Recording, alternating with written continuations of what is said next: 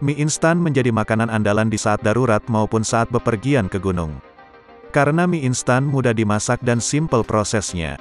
Namun proses memasak mie instan yang satu ini jadi kacau balau karena ulas seorang teman. Pasalnya dia sengaja memasukkan batu ke dalam wajan yang berisi rebusan mie instan. Dilihat dalam unggahan tampak sekumpulan pemuda sedang memasak mie instan di tengah-tengah perkemahan. Mereka memasak mie instan tersebut di atas wajan kompor portable. Momen keseruan mereka itu pun direkam lewat kamera ponsel. Kami lagi camping guys, kata si perekam riang gembira.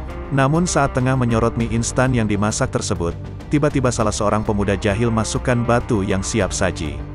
Sontak hal itu pun membuat teman-temannya kaget. Namun mereka juga tertawa menanggapi aksi iseng tersebut.